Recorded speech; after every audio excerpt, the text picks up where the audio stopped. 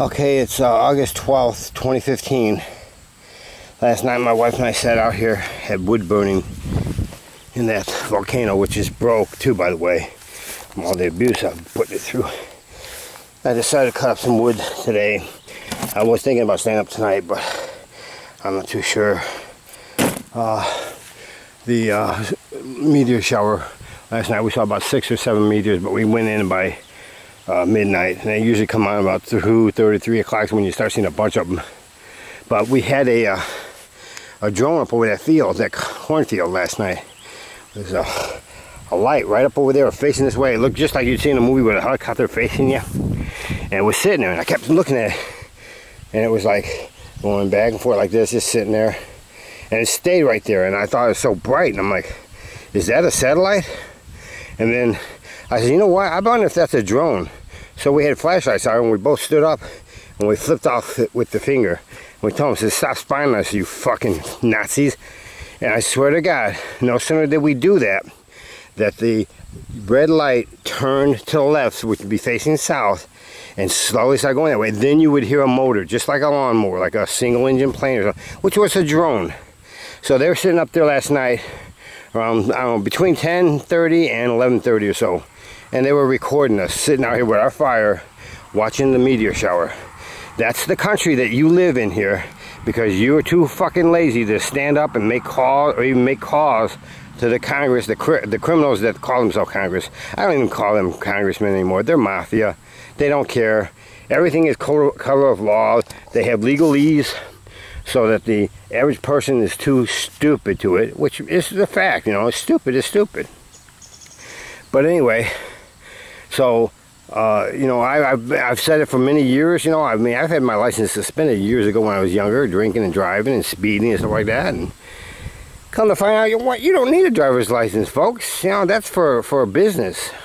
A driver, the Supreme Court said that.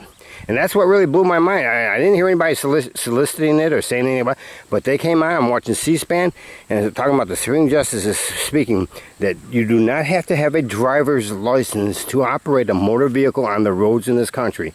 You are supposed to be free to travel without being detained. The checking, the checkpoints, all that, totally unconstitutional. You are supposed to be legally able to travel throughout the United States on the roads in a car without a driver's license. Look it all up for yourself. And of course you have some liberals and some assholes and you got cops and you got judges that go, oh, see this is like seeing through their charade. They want to tell you that you got to do this. You got, it's all bullshit. You all do it to yourself. Remember that. Okay, so tonight I don't know if I'm to stay up here. I'd like to if the sky's to be clear. I think today or tomorrow, tomorrow night might be the last night of this uh, meteor shower in the northeast skies. Uh, but it's a sidetrack from what I was just ranting about. But like I said, I'm pissed, you know. You, you can't not be pissed about this shit. Well, you have your driver's license? I don't need a driver's license. Please step out of the car. Am I being detained? I mean, again, it's all bullshit. It's color of law. They use legalese. And a lot of times the cops don't realize it, although they used to be very educated they had to have at least a, uh, an associate's degree or a bachelor's degree in college. Now they just want any kind of thug they can get because they're getting ready to smash the American people. They're going to confiscate guns. They are going to do that. Don't anybody lie to you and say, oh, that's bunch. They're going to try to confiscate guns. Let me put it the right way. They're not going to, but they're going to try. And it's going to start a lot of shit in this country.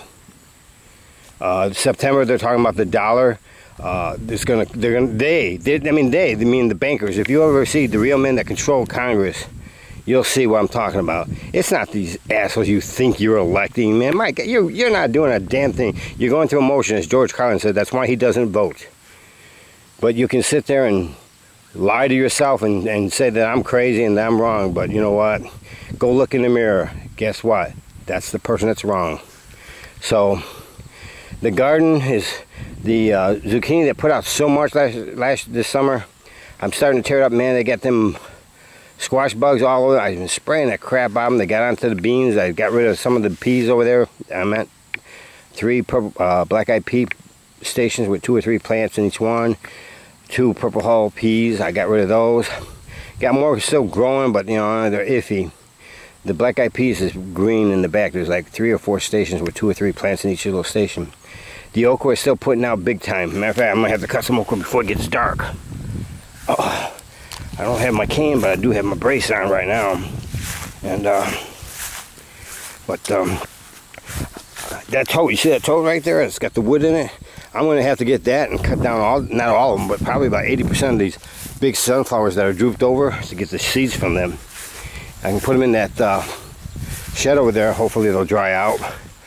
But um, these others here, uh, it's really easy. Yes, it's easiest to do it with tweezers. If you go online, you can see people doing it. It's really time consuming. These are the, see these right here, they attract, these are the ones that attract the big butterflies and the honeybees and the hummingbirds over here. But see now, these are real prickly right now. And you'll poke yourself, you know, in your fingers with these. They hurt, they hurt. You take, you gotta take those out, and there are seeds inside of those. I've got about half of a snack bag full, and look at all of them out here. So that in itself is gonna be like in a, uh, a five gallon bucket. I'm gonna just, I'm gonna clip them off like, like this right here. A bunch of them. This one's still soft, so it's dying. That one's got a lot of petals on it yet. But these others, man, you touch them and they're like needles. They're prickly. But today I saw some big butterflies on it. See, tonight I gotta cut some more okra. My, we're letting this one go to seed. Look at this, this long one here. That's about eight inches, nine inches long right here. It's on the camera there. But, uh, you know, before the night gets, before the sun sets over there, see here's one, it's about uh, four inches. That's a good size. Spineless green. The spineless green is good. You can eat these raw, by the way, I found out. And I'd start eating one, and I drop that on the ground. The dogs are out here and they pee, and I don't want to be picking up and eating right behind them, you know, but so I just tossed it. But I can pick any of these up. The smaller ones are the best ones they say to eat. I'm not to eat one that small. But, you know, if I picked one off, see, this is too small. The flowers are closed up. They'll open up tomorrow. That right there would be a good size to pick up and start eating it. And it's, you know, if you like okra, a lot of people either like it or people, oh, it's slimy. I don't like Well, that's fine. Then don't eat it. This is one of the most nutritious vegetables you could ever, ever eat. And I've got uh, burgundy uh, okra and spineless green okra. These are from heirloom seeds. These are extremely nutritious uh, okra. I've got bag after bag frozen. My wife's cut some cut up, some of them even battered and cut up and frozen. Uh, she picked a bunch today. There might be a few out here. I'm still going to pick some if they're too big. The long one up front, I'm leaving that real long one, but the others I might get one or two off here. But so, but See the leaves from us breaking them as we went in there breaking down there, but these are staying sturdy. They'll, they'll keep producing until frost. So unless we actually just completely kill it, like I said, I'm trying to be careful not to break any more branches off. I won't go in there while I'm video, video recording because I will go into a branch and snap it. But uh, you can see how everything is almost out of here. The zucchini over there, all the damn bugs I I sprayed the crap of them. I killed them all too. Hate them things. And I go in the house and I feel like they're crawling on me. But um, see the purple hull pea, there was one right in the first the first um, section of this second from last row. Then you have one, two, three, four black-eyed peas. And then you got three back there, and those are all pulled up. That one's pulled up. Those there don't look so great either, but there's other uh, purple hull peas growing in the back from just throwing them out there in the ground. They start growing. So I got cages on them now. Yeah, so my okra is doing okay. These are purple pole beans. I just never finished pulling them up. Last week I pulled up everything except for this. I just stopped. So we got beans growing. Right here is uh, uh, I don't know if that's a purple. No, that's a Jackson Wonder bean right there. There's a purple pole, purple hull pea right there. Purple hull pea right down there too. They'll they'll grow up like in the bush with that. I'm gonna see if they'll run on the string. I got a couple. of, Um, got a what is it? Uh, what's it called? I can't think of the word now. Oh, it's in the first garden up there. Uh, tomorrow. God, I can't think of the name right now. So anyway, it's a Mexican name. It's growing pretty good. See, right there is a cantaloupe growing. This one right there. This one here I planted earlier. That's about two, about two weeks. I said we got until about the mid of October it's uh, the uh, 12th of August right now. So we got all of August, the rest of August, all of September, and into October. So we'll probably have about four to eight more cantaloupe. Uh, black eyed peas over there. Uh, but like I said, you can see how these are all decimated from them damn bugs after I start breaking them off. Because they weren't putting out anymore, the zucchini. We did get a lot. We've canned probably about four cases or more. And uh, like I said, you see this one here. That green and yellow one there. Okay, but uh, black eyed peas are still coming out. The purple hull pea See, I put that cage on one. I got that cage on one. There's one right there, and there's another one there. That one I don't think is going to make it. Uh, the last set maybe might be okay. Right there, those purple hull peas. Those there, they have those like eggs on them, like this right here. That's what decimated the garden after a while, after we were out here. We picked a lot out of this garden. But see, they got like those eggs. I think those, they might be those squash bug eggs for that matter. So next year, anyway, it's going to be different. Uh, got uh, one, two, three tomatoes over here growing pretty strongly. Right there's one. Uh, it had brown spot really bad, but it's got a lot of green on the top. This one's actually got two or three flowers on it. That one's about four feet tall. Eggplant, tomato plant, four pepper plants back there. Two small tomato plants that are actually growing. I planted these out here. That one right there. That one right there. That one right there I planted out yesterday. That's another eggplant right there. That's a pepper plant, I believe. This is a pea. I thought it was a, a Jackson Wonder bean, but it's a pea. You can see it's a pea plant. You can look at the pod. You, this one and this one here. That's a Jackson Wonder bean though for sure. I know that because I put that one out. So that's how the garden is looking. A lot of trial and error, man. We've been getting a lot of hornworms off these tomatoes, I'll tell you. Look at how bare all this is, but they're still producing. We're out here every day now. We get up in the morning, you come out here and look, and you might catch about four of them on here. I don't know why they're coming. I, I blame it on the Kmart ones, but still, I'm not saying that's why, but at least helps me blame it on something. Still got quite a few tomatoes on here. Not a lot, lot, but one, two, three, four, five, six, seven, eight on the front one, 9, 10, 11, 12, 13, 14, 15, 16, 17, 18, 19. Uh, looks like 11 on the second one. One on the last one. This one is no good, no more. See, they say to put a hornworm on a plant you can let go, and I said we should have been putting it here, but I've, I've cut them up. I don't know, birds have gotten them because there were like three or four of them I cut up on the plastic. Got one, two, three, four, five, six, seven. On this plant, seven, and there's one down there that's no good. One, two, three, four, five at least on that front one. Six, six on that front one. So, and the beans, like I said, something got a hold of that, brown spot, whatever, those are no good now. They're just no good.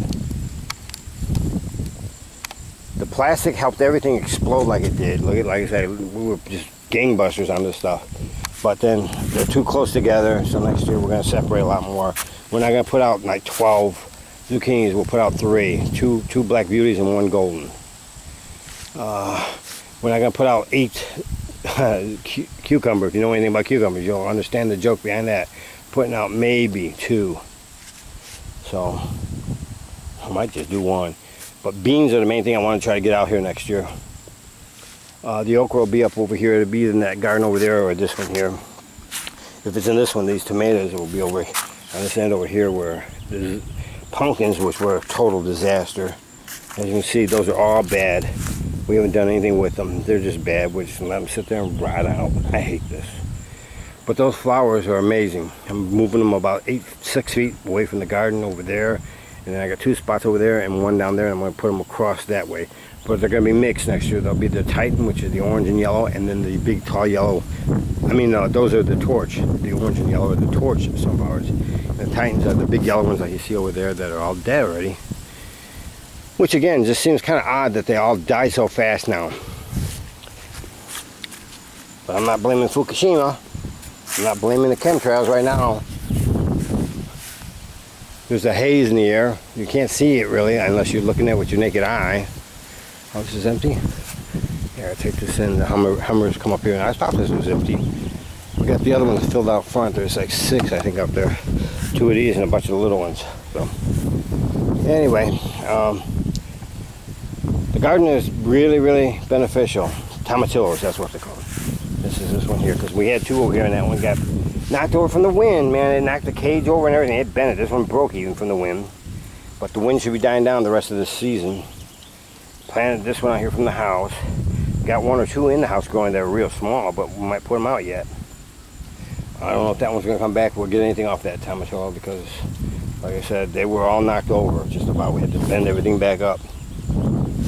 So, just know your government is not your government. Yeah, so you know that.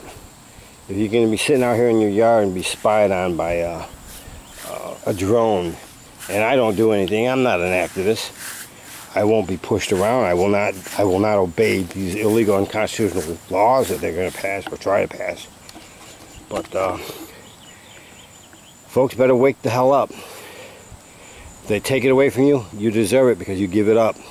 I'll die before I give up anything. So they know it. Fuck them.